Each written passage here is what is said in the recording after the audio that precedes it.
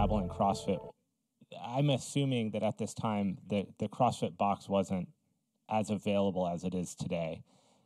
What drew you into that type of fitness that the difficulty of the workout because it's not it's a hard thing to mentally push yourself through that type of training and to get into that painful state and just endure and get through to the end one two to then perform through that zone what was speaking to you that maybe other athletics or um, other types of training and conditioning weren't like you know you chose to go into crossfit not become an ultra marathon runner yeah which both i mean you know crossfit's you know i, I was introduced to crossfit in 2006 i was working at a conventional gym at the time uh, I just, I, I really, I, I, like the idea of having a coach. I like the idea of having a clock and getting more work done in less time. That's what I liked. I, I thought it was very efficient, and I liked the results I was getting from it.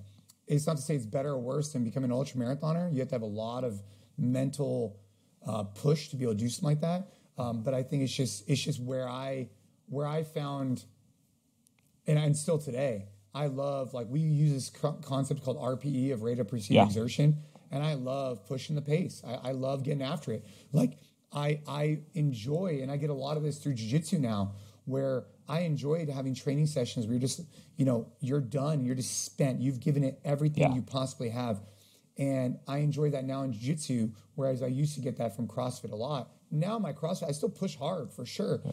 It's just different than what it was before. Yeah, the for people listening, the RP's ratings of perceived exertion, it's essentially like a one to 10 scale of your effort of how hard something is when you're done. That's something that I struggle with within jujitsu is managing that because I love the RPE 10. I love it. I, that when you have a day where you have six or seven hard rolls in you and you're you're gassed, gassed. It's a few feelings like it how do you manage that? How do you manage your weekly RPE between being a freak in CrossFit, maintaining that, running gyms, running philanthropic events, taking care of your daughter, going and training jujitsu, you know, training and coaching service members and border patrol and stuff like that. I mean, the exertion level perceived from someone else is that's an 11 constantly. So how do you manage that for yourself? I mean, I think from a training perspective, right? It's you know, I try and allocate certain time of the day to certain things, right? So like, um, you know, mornings and evenings will be spent with the family. During the day, I'll be able to switch off between business stuff and and training. But I think when it comes to training specifically, I, I, I do think it's difficult because I gravitate towards the higher RPEs, and I've had to remind myself that if I want to be doing this for the rest of my life, I need to evaluate. You know, I don't need to be at a level ten every day, all day. I need to have some days that are a six or a seven. And I need to just walk into the gym that day and just be like, dude, I'm checking my ego at the door. I'm, I'm, I'm staying low key. And it's funny because I went into, I went into the gym. I went into, I went to the gym on Monday saying to myself, hey, today I'm going to go hard, but I'm, I'm going to try and go like at an eight.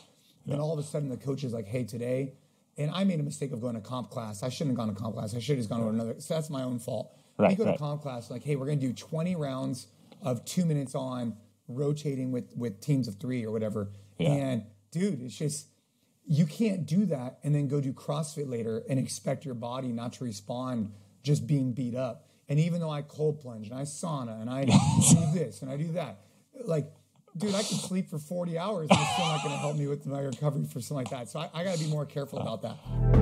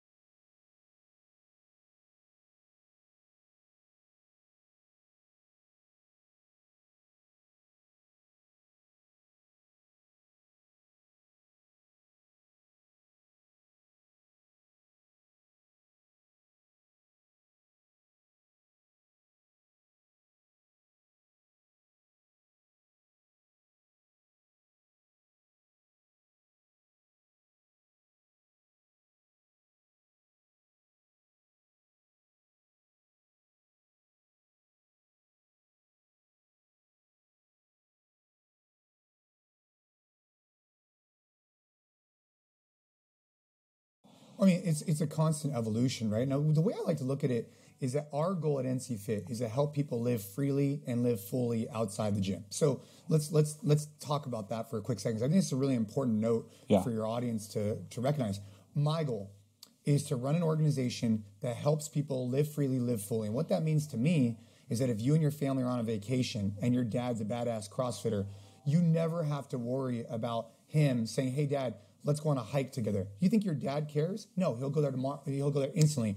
If you say, "Hey, Dad, you want to go swim in the ocean with me?" Done. Hey, Dad, you want to go bike? Hey, Dad, you name the item, and your dad's like, "Yep, I'm on it. No big deal." It's not even a factor. Doesn't even consider it. What that means to me is that your dad, right, has the capacity to live freely and to live fully. So to not be inhibited by his physical capabilities ever, meaning he doesn't have to worry about sitting on a toilet and getting back up again, nor does he have to worry if he wants to go do something, he doesn't have to worry about that because he has the physical capability. And for me, when I think about the training we do, or even in jiu-jitsu, it's the ability to enhance my life to live freely, to be able to go do whatever I want, and to go and go express that. If I want to go climb some big ass mountain, I should be able to go do that. Yes. Now, if that's the premise and that's the theory, right? To be able to keep up with my kids, to be able to do whatever. If things take away from that goal, I need to put myself in check. So I'll give you an example. I was uh, I was doing a CrossFit workout the other day, and I was just dude, I just toasted myself. I think I did, I don't know, it was like a couple hundred lunges, couple hundred squats. It was it was just it was just a lot, right? Yeah. And because I test a lot of workouts, and this one was a little bit over programmed, so we adjusted it back down. But you know, for like three days after, um, I was going to go play catch with my son, and I'm trying to run. And dude, I couldn't run because my legs were just so smoked. Yeah. I just said to myself, like, what am I doing? I was like, I can't even play catch because I'm so messed up. I was like, that's not me living fully, right? Like, I need to go ahead and check my intensity. And just if I had just dropped it back 10%, I wouldn't have been that sore. I would have been fine. Yeah. I would have been able to wake up in the morning, you know, jog a little bit, and I would be but if you go too hard, too often, it's inhibiting your ability to hit those goals. And that's a constant daily reminder that I go through right now.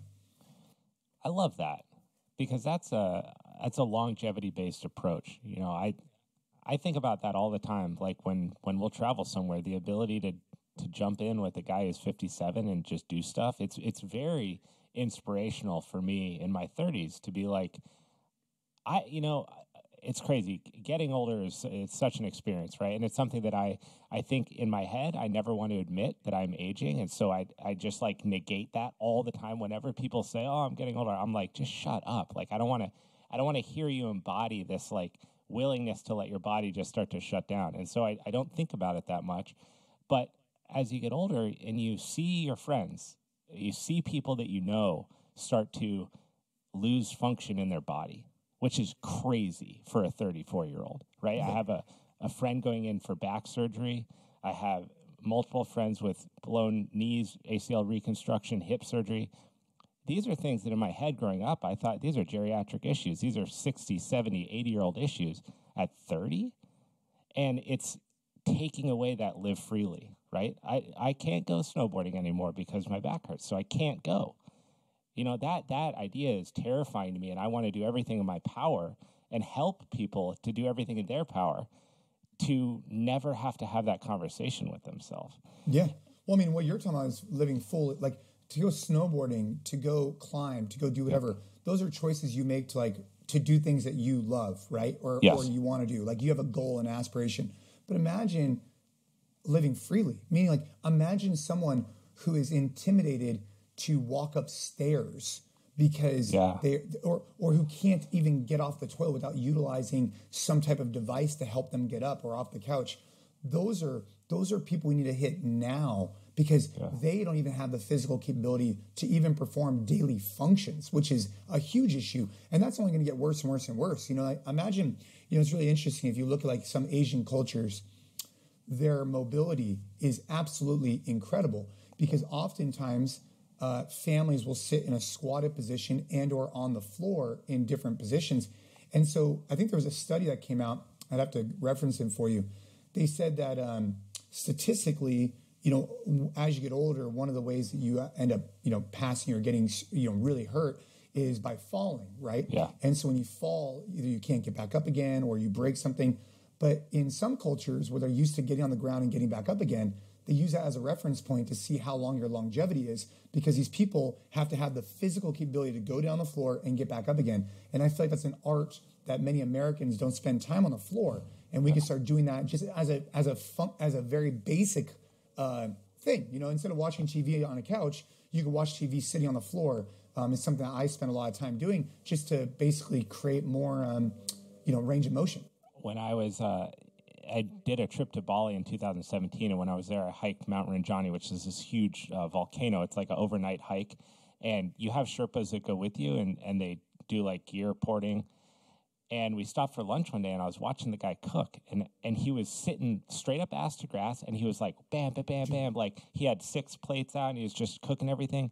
And I just sat there, and I was like, no one else was paying attention to it. Because whatever, this guy's just sitting on the ground, and I was sitting there, and I'm like, wow, you know, we've through our lifestyles, we've robbed ourselves of very basic body mechanics. Like to sit down onto the ground and cook something at a fire, that's, uh, let's go back, uh, you know, 2,000, 3,000 years, right? Something that we just do. And now, in a very short amount of time, with technology and everything that's part of our life, like me sitting in this chair right now talking to you, uh, we take that away from ourselves. And then when you need it or want it, or when you want to live freely, do something basic like get up off of the toilet, you don't have that there. Yeah. And it was such like a stark contrast to see how ingrained that is in an otherwise just generally active lifestyle. You know, this guy's not going to the gym. He doesn't go to a CrossFit box. He's not taking yoga classes, but every day of the week, he walks up and down this mountain and he cooks food. And yep. he was doing, he literally had a cigarette in his mouth while he's doing this. And I was just like cracking up, right? But it uh it is sad to see I think that's one of the reasons that this profession or adjacent profession is so amazing, and even jujitsu too, right? Like you look in um, an academy and you see you everyone, if you've been doing this for a while, has seen that person that has gone through a transformation through being there, right? They're starting to cardiovascularly be in better shape, which is affecting their heart health. They're becoming more mobile by experimenting in these positions. It's a really powerful place to be. Yeah, I, I think I think both. I, I, think that all of that is true. You know, I um, it's it's funny. We we have a we have a location in Shenzhen, China. We operate in an NC Fit. Yeah, we, we run corporate wow. wellness locations for Western Digital, and it's so funny. Same thing happened. These guys just excellent. These guys, it, it's just it's interesting when you spend a lot of time in different cultures how um, how things that we consider norms like have just evolved over so many years but to many other cultures like just sitting on the floor or like you said cooking that way it's just that's just the way it is like yeah. they would not yeah and i think standing desks like right now i'm standing right i have a standing desk in front of me and you know i think standing desks sitting on the floor um, and, you know, if you talk to Kelly Starrett, the author of Supple Leopard, um, he has a new book coming out, by the way. Um, Sweet. But uh, I'm but here for it. That, uh, yeah, I just think that little stuff like that goes a long way if you're trying to enhance your overall fitness. And then finding jiu-jitsu or CrossFit, I think is a great next step. And you know, for anybody who wants to try and pursue fitness, you know, I think just walking, especially like with your kids, just getting them walking. so you talk to you talk to healthy people, and it's the simplest answers. Like I, I can't tell you, I, I if I had a dollar for every time that I recommended to a close friend, family, acquaintance, whatever, that they increase their daily step count I mean, I sound like, you know, it's a broken record, and I feel like people just don't digest that information. I'm like, but you don't understand, like, metabolically why it's effective to walk at low heart rates for long distances, but also just what you're doing for yourself. You're using that thing that you live in to, like, yeah. move around. Yep. And then if you go into, like, you know, some of the stuff that I've been diving into lately is some knees over toes stuff, trying to do some yeah. backward stuff. Um, I'm going to be having him at the gym next month, which I'm really excited about. So there's so much information out there. I just think that people can't get hung up on it. You know, simple is better and consistency matters. And I think that's whether it's your jujitsu or your CrossFit or walking or whatever. If you do it for a month, a week, a year, it really doesn't matter. But if you do it for years and years and years, that's where it really starts to impact. And that's where I'm at kind of in my jiu-jitsu journey is I'm looking at it through this really long lens. Um, and just seeing where I want to get to in the next, you know, 10 years, for example. You know, I, I want to touch on, uh, you mentioned these two components, which I actually really like the addition of living freely because I think about the, the living, sorry, you said living uh, freely and fully. Fully, thank you. Uh, the living freely, but the living the living freely part is an addition that I hadn't really considered in the past, like how that's actually different than fully. That there's there's two separate experiences there, yeah. and as someone like yourself, fittest person in the world, CrossFit Games winner, that you know we could just rattle off insane metrics of of weight that you've moved or times that you've ran. By every you know bit of the words, you're strong and I would venture to say mentally strong too, right? Because you can push yourself through these tough situations. You can grind where other people fall apart. You have that determination. Being someone like that, what was the experience like when you found Alana's diagnosis? Um, Ava's, yeah. Ava, I, uh, sorry, Ava, Ava. Yeah, all good. Um, I mean, obviously, it was you know, you know, it was, it was terrible. Um, but yeah, I mean, I, I, I do think to your point. Um, so yeah, there's definitely a difference between freely and fully, and then I'll, I'll answer your question. But you know, freely again, it's like, dude, it's not good enough just to not have to worry about getting on the toilet and getting off the toilet. That's a prerequisite for life. Like if you have yeah. to worry about that shit, we got to start there. The fully piece, like if you're worried about climbing Everest, you need to train for it. That's a that's a beautiful problem to have, and you should be yes. proud that you're at least striving towards that goal. You know, um, but in regards to you know, uh, yeah, the diagnosis.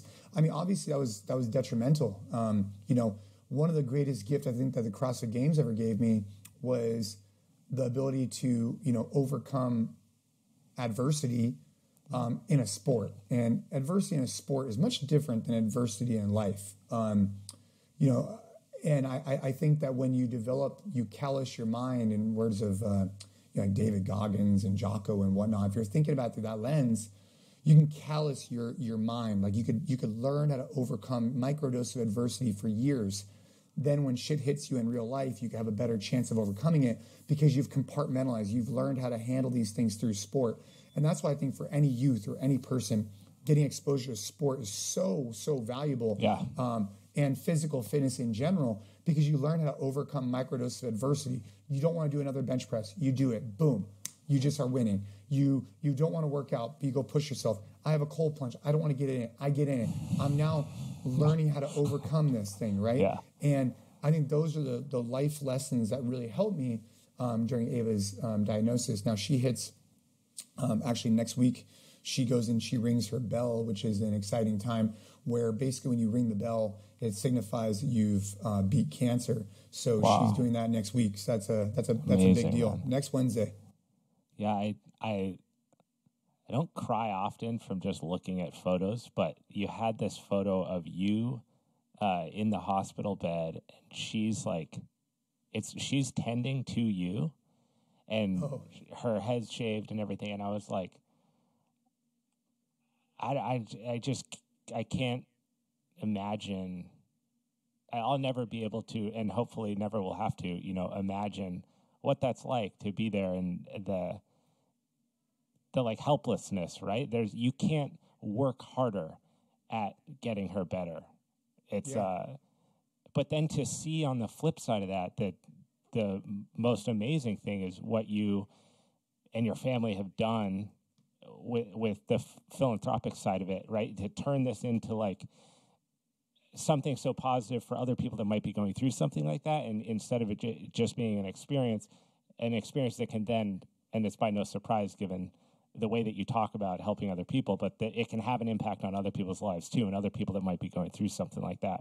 When she was uh, starting to get better, and on the on the, well, flip side of this, how much does she like play into the the philanthropic side of it? Is she is that something she's aware of and excited about, and and loves participating in?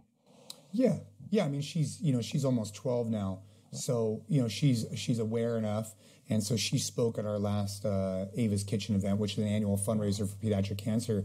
Um, but yeah, you know, it's, it's interesting. Um, a friend of mine, actually, um, Jordan Harbinger, he has a really popular podcast. He, that sounds so familiar. What's yeah, the he, What's the name of that? Uh, I think it's just the Jordan Harbinger podcast. But him and I were talking, and he sent me a text, and he's like, um, we were ta- talking about just business, whatever. And he's like, well, any problem that can be solved with money isn't really a big problem. And it was just interesting because he's right, right? If you have a big problem and is, is you know money related, they, they they're they're they're morphed by um, if that's even the right term um, by uh, by anything that has to do with non money related. Like a family member being ill or whatever it may be. Those things are very difficult because, like you said, you can't just throw money at it. You can't just throw attention at it. You have to throw um, expertise from doctors uh, and and you know prayer and and other things. Like you can't. There's no easy solution. You can't just go out and get a loan to solve this problem. right, Right. right. It's going to take weeks, months, years, and a lot of work. And um, yeah, we're very, very grateful. And, and, and she, she plays a big role in what we're doing right now to help families. And uh, we're just blessed to have the, you know, outcome that we currently have. And, you know, not every family has that same outcome. And, you know, we're well aware of that. And so for that matter, we will dedicate ourselves for the rest of our life to supporting uh, children and families fighting pediatric cancer. It's just a, it's just a non, it's a, it's a non-starter for us that we will always um, be dedicated to that cause and blood drives and other things that we do to to to play our small part for the gift that we were given. Um, that's the way we look at it. I have a, one of my training partners named Alex. He ha- was diagnosed with Hodgkin's lymphoma when he was a kid, And I met him through the academy. And I just like, man, that dude inspires me so much. It's crazy. Like when he just wears this smile on his face, that's you can't buy it. It's just his his contentment and, and enjoyment of being alive and able to participate in all the amazing things that life has to offer it's it's so welcomed like it's really a special thing and i i, I was really it, hearing him tell the story of the whole thing when he was younger was really intense you know the the visits and the helplessness and everything but to come out on the other side of it and have a positive experience like that seems invaluable i I saw a video of you, uh, like her preschool workout routine. Oh yeah, all the time. Yeah. I we- love. So yeah, tell me about this, because I think this is rad. When I was like 15, I could not wait to go to the gym. I don't know why, but you weren't allowed until you were a certain age, and I was like counting down the days. I didn't even know what I was going to do when I got in there, but the idea of being able to go and train was like the coolest thing to me. And Yeah. seeing this video was really cool. How did that come about? Well, I mean, we train. So we train once a week. We train um, stand up and groundwork. Right. That's a that's a prerequisite at our house. Jiu-jitsu. We- Yeah, hundred percent. Oh, rad. I didn't know also, too. And also like Muay Thai. So we, Yep. we have basic, you know, basic framework of Muay Thai and groundwork is a prerequisite for us. We spend a couple hours a week doing that, and then every morning we spend um, working out, and it's just a part of the routine, right? It's a way to level set for the day. It's a way to get the body moving. No matter what you do, the morning's in your control. Just wake up a little bit extra early, get after it, and that's just been something that we we just do. Um, and it's been really really cool. Um, I think that it's been really valuable from a strength training perspective. I've I've really worked with her to realize that like lifting weights, eh, you know, within reason, um, with appropriate technique is is not a bad thing. You're not going to get big. You're not going to get bulky. You're going to get toned. You're going to get strong. You're going to be. eh, those are lessons that we're learning at a really young age, and Yeah. it's just evolved. You know, it started off when she was like I don't know seven or eight. It started off with just like walking in the garage, watching TV, and then it just evolved and evolved and evolved to where it's at today. And um, I just think it's a good way to to teach children, you know, like my son included, this idea that you know you could learn so much about yourself through fitness because you could be going in there and you don't want to. And again, like we said, there are these micro doses of um, there are these micro doses of adversity that I think just compound. And so when you do reach a real adversity at school, you're just better off handling it. And I think that any parent that tries to shelter their child too much, the reality is is that eventually life will come and kick you in the nuts. It, it will. It's just it's going to at some point, right? And I, hopefully it's not that bad, but at some point it's going to kick you in the nuts, whether it's relationship or whatever. And so the more that we can mentally prepare for that through physical activity, I think is key, and so that's why we do it. I on that note, um, kind of learning that the le- the lessons that fitness can teach you. Uh, uh, one last thing I wanted to talk about was your Masters experience at Masters Worlds, watching the matches and seeing. I think you- you had a quote about, you know, I've never lost anything in my life that was decided by a judge, and seeing, you know, having competed myself and knowing the intensity of those matches when you're really going for it. It's five minutes, so you know it's all out. Uh, you guys go into overtime, and then you go all out again, and then to have a decision go to the other person's favor. What did that feel like for you, having that out of your your control? Well, I mean, ultimately, I mean, obviously, it didn't feel good, and and I ended up winning a tournament a couple of months later, which which felt much better. But you know, ultimately, what it came down to was that you know it was my own fault, right? And I think that's the secret is that you can immediately you can immediately switch flip a switch to go from a victim mindset to ownership, right? Like yeah. I, I could have played the victim, like fuck that, you know why? Blah, blah, blah, but immediately I just told myself, like, dude, why am why even say anything? I should have been so dominant that it never ended up in the judge's hands. Like bottom line, like. And I always used to think about that with CrossFit. Like if you got a no rep in CrossFit, it was different than in this case where literally the, the judge was one advantage to one advantage and the judge just said, hey, this guy won. But in right. CrossFit, it's like you get a no rep, a no rep, a no rep. Like that's not the judge's fault. That's your fault. And you need to fix your movement because you stopping an argument with the judge is not going to do anything positive for you. And you complaining about it later on is not going to do anything positive. So you might as well address it in the moment, realize it's your fault, and move on. And, and that's really another lesson I learned through jiu-jitsu where competing and having a, a, a, judge make the decision was tough, but I should have been more dominant. So yeah. for next Master Worlds, I got to train to be more dominant. Yeah, it's a good uh, it's a good lesson in in ownership. I like that word a lot. I feel like it's something that we can all attempt to embody a little bit more to use less excuses and it's tough though in those moments, you know, when you get hit with it as a competitor and there's a lot of emotions that rise up, but to, that's the only way to get better, right? The only way to improve is to recognize that there was something lacking in the first place.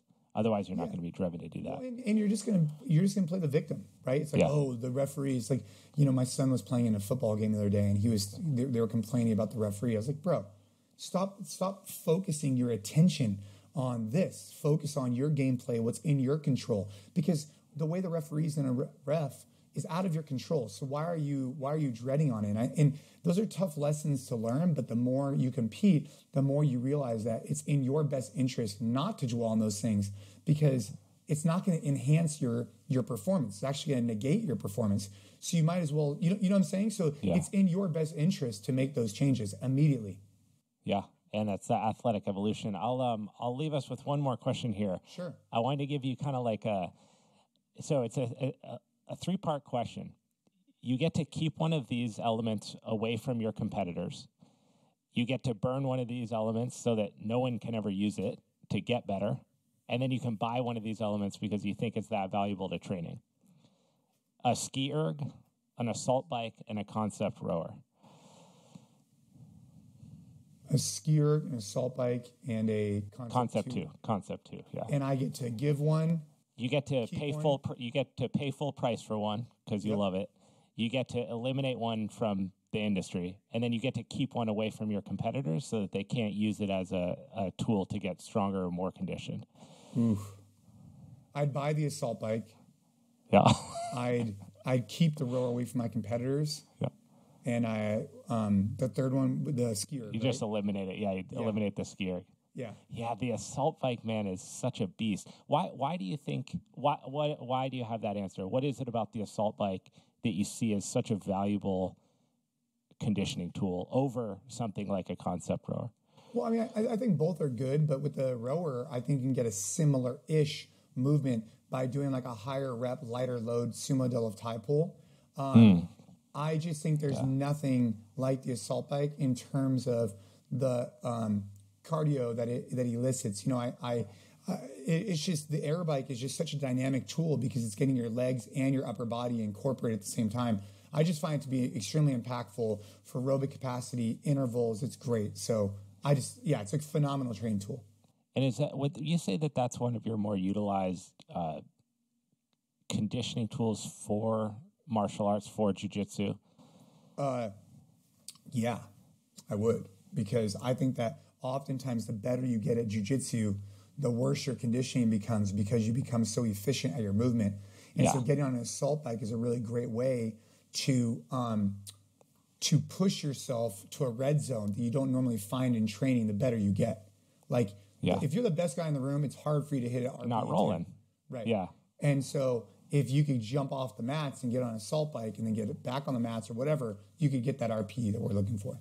Well, then I, I have to ask this because this is my dream scenario, right? Do you see in the future, and, and maybe within the the walls of NCFit or outside of this new kind of like training facility developing where you have the growth of martial arts is unprecedented, right? You have the growth of UFC, one championships across the board. Everything's getting bigger and bigger. ADCC, IBJJF, it's more and more in the fr- like public sphere. And I think you have a lot of people that are that are athletic or conditioned that are starting to enter into it.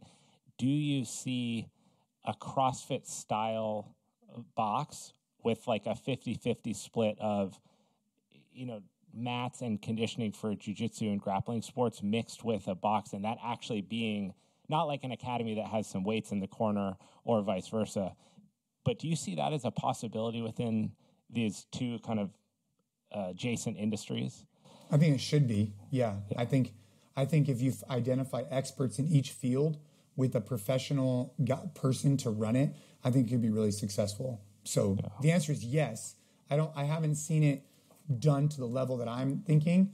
I've yeah. seen it like either one is kind of like an offshoot. Like you have a CrossFit gym with a small jiu-jitsu, or you have jiu-jitsu with a small CrossFit gym. But I think doing it right um, is definitely a possibility for sure.